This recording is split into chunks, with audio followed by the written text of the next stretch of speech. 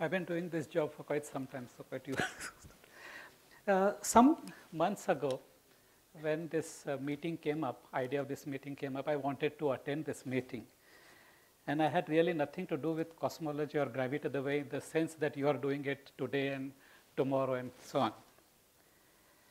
I said, IUCAA had this uh, T-shirt which says gravitate, it brings people closer. Uh, I had this thing, but I had nothing to do with gravity.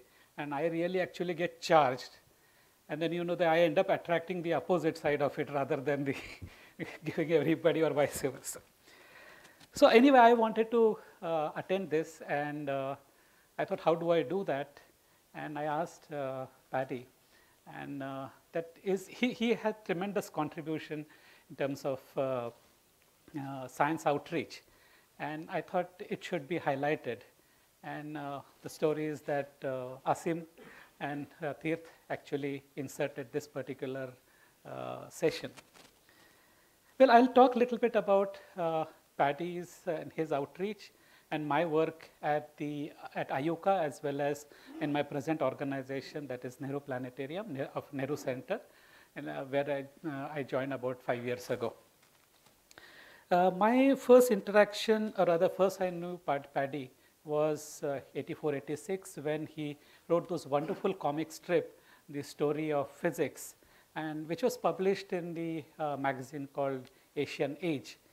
And uh, Science Age, sorry, not actually Science Age, I'm sorry, yeah, Science Age. And this magazine was published from Nehru Center. I don't think it's a coincidence of any kind, but I think when he stopped uh, contributing, even the magazine closed down. But that is the fact it has happened.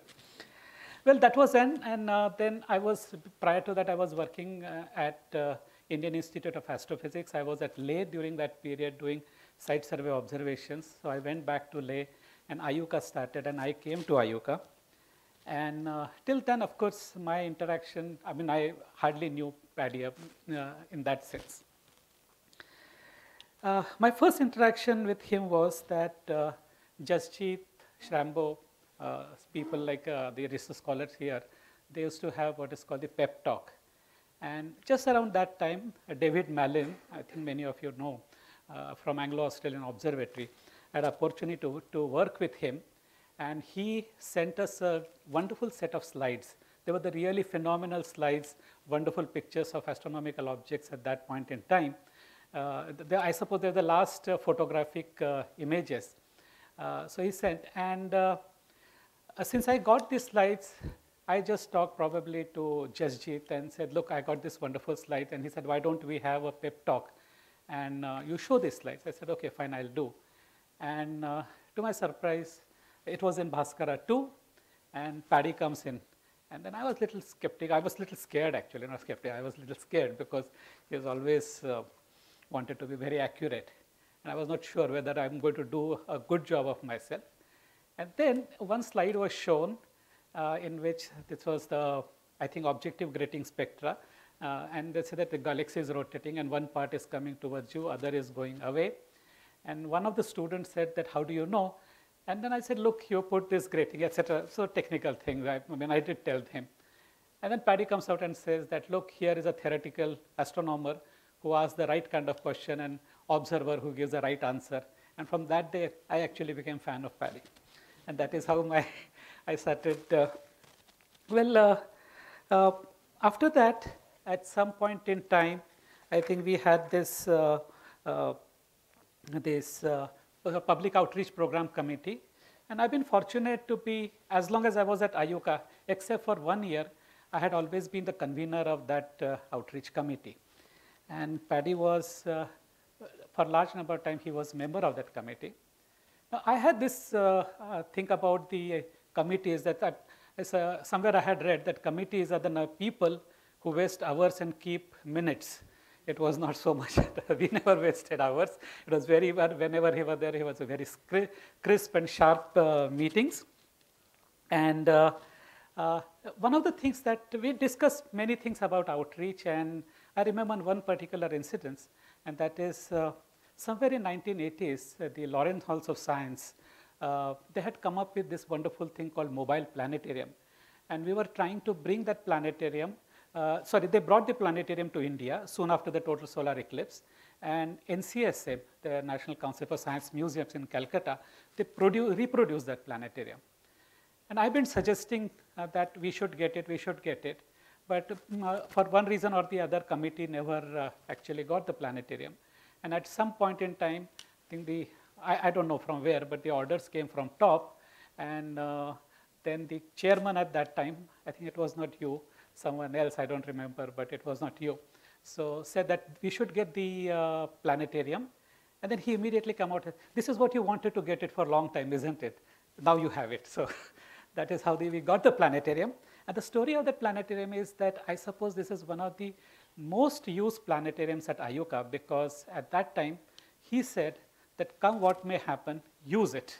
As it, use it as much as you can. If something goes wrong, something gets torn, after all, it's a flexible thing, it can break, something that get torn, we will repair it, but use it. And we use a very novel idea in making the, taking the planetarium across uh, at least the state of Maharashtra. And what we did was that, uh, because at that point in time, it was me and one other colleague of mine, uh, we were working in the outreach. So what we did was that we trained large number of school teachers in Pune. We brought them to IUCAA, we showed them how to use the planetarium, how to operate it. And we said that, okay, whenever you want to take the planetarium, please come, take the planetarium, do your shows and bring it back. And that is how we use the planetarium. It was a wonderful success. Even now people are using it. And Professor Narlikar, he said that there's this uh, anti-superstition group.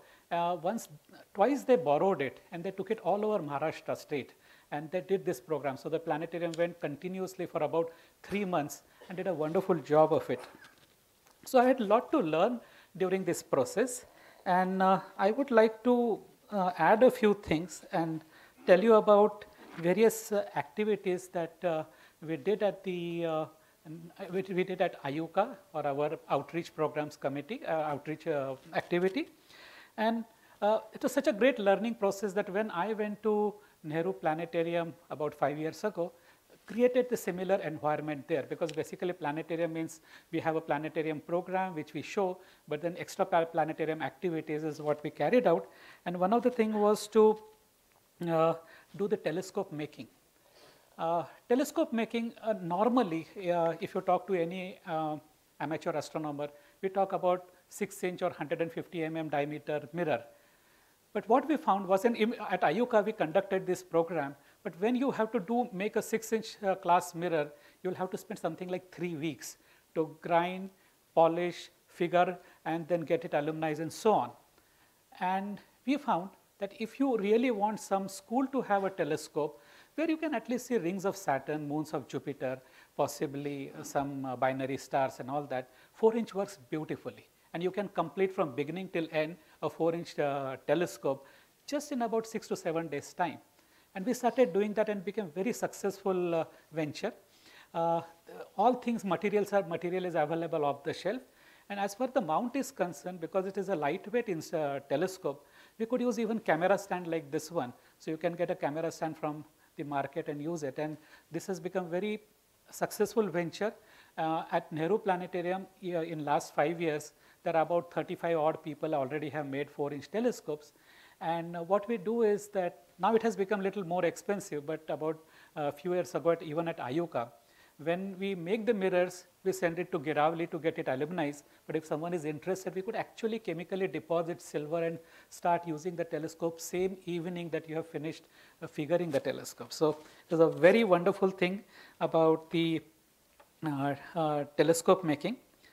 Uh, one thing that other uh, I would like to highlight is that we also had uh, this internet telescope at Mount Wilson. There's a, there used to be a 16 inch telescope and uh, we used to operate it from here. And I remember that even this in this very hall, we used to have some uh, 30, 40 children sitting, and then we would operate the telescope uh, using the internet connectivity. And the thing came out also very nice for us because um, uh, when we, uh, when it is about 3 o'clock or 3.30 here, it is 3 in the morning at uh, Mount Wilson. So there were no one takers. There were, there were not too many takers for the telescope. So you would get the time very freely. and we operated this telescope and really made use of it. Uh, presently, the telescope is, I think it is down at Mount Wilson, now it is no more being used, but there are other, other amateur societies and other amateurs who actually give away the time uh, for the telescope. So internet we have used and uh, in various formats we use internet here. Uh, one of the thing was that uh, livestream.com allows you to have a free access uh, for webcasting whatever your talks are. And I remember the first uh, uh, talk that we webcasted was Professor Narlikar's uh, second Saturday lecture demonstration program. I think she will, he will talk about various other activities of IUCAA. So we did that and, uh, we, and rep I repeated the same thing at uh, Nehru Center and we have been doing that very recently. there was a virtual visit to CERN there was, a, there were some people at CERN, observer, CERN uh, station and they interacted with us and we had something like 200 people sitting in the uh, auditorium, uh, our Sky Theater and actually talking to people uh, in CERN, uh, uh, people working there and answering their questions. It became very nice and then I've been talking to uh, Somak and other people whether we can do the similar thing with the observatories in India or facilities in India that uh, we have.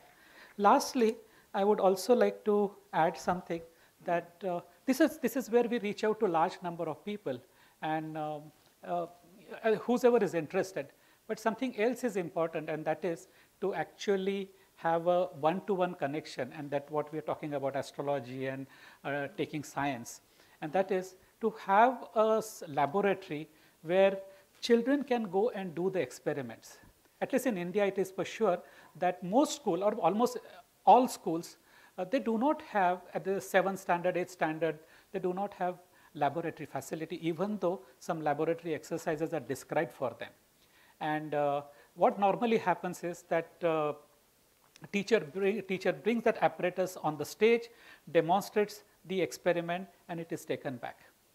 So what we started doing was that uh, we said that we will create a laboratory in the planetarium and with the processes already we had gone through two cycles of it and finally we got good lot of money to create these laboratories where we will take only 20 children at a time and we'll have two or three trainers they will show them how to do the laboratory exercises and in order to make this uh, uh, even more user friendly or probably teacher uh, teachers friendly what we have also done is that all these exercises which are given the physics uh, uh, laboratory exercises is that we did almost everything using things which are available for us on off the shelf.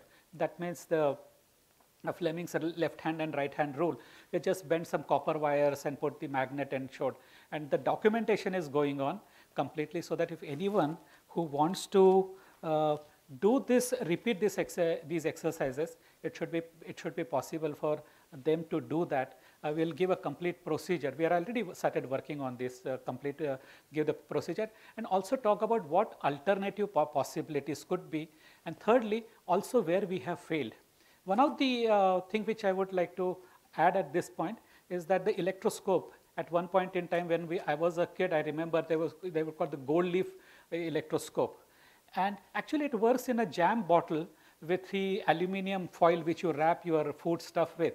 So you take two strips and put a stick and it works. But the mistake there was that if you use the metallic cap, the charge get dissipated and it doesn't fly. So what you have to do is you put a cardboard sheet on top and do it and then it works fantastically. You just take a plastic uh, rod or something, rub it on your hair and you see the flip, uh, the um, thing is going on.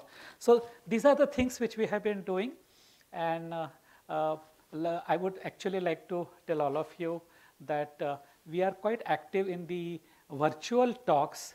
So if you won't mind, maybe I'll write to you. If you would be, if you are interested, please do come to our planetarium virtually and talk to our uh, visitors and uh, uh, people who come, I mean amateur astronomers or general people who are interested in uh, science. that is what I wanted to say. And I would like to end by saying, Paddy, thank you very much for being there. It has been a lot of inspiration. Professor Narlikar was there, of course, but uh, working with you on a person-to-person -person level basis, I really enjoyed working with you and learned a lot. Thank you very much. Oh. Maybe there are a few questions, if you don't mind. Yeah.